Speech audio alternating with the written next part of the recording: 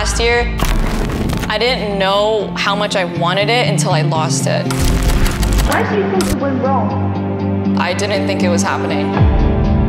It was like a complete destruction of like my sense of self.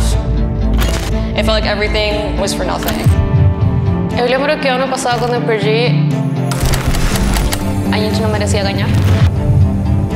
Queria ter essa segunda oportunidade.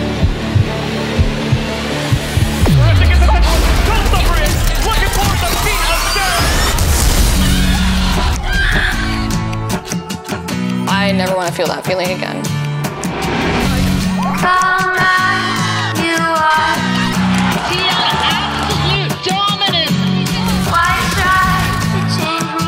This time, their home ground.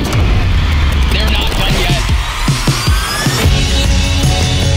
This year I felt pretty much at home and just feel like I've become more of like a mentor. But I owe that a lot to my team for trusting in me.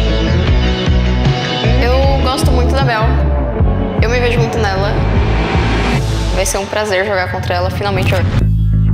SR, they should be ready for a fight because this TL is looking so clean.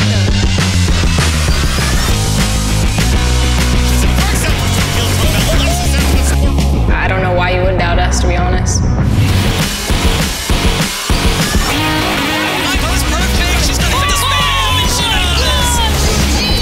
A gente está aqui por um motivo e